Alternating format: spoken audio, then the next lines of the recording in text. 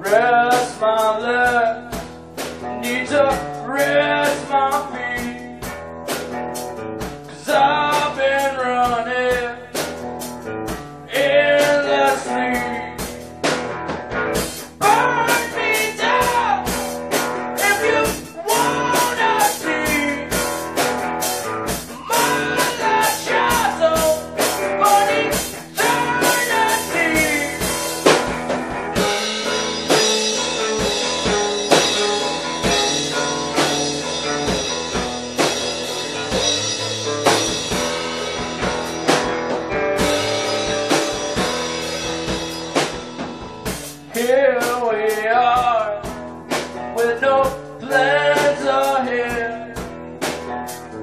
Somewhere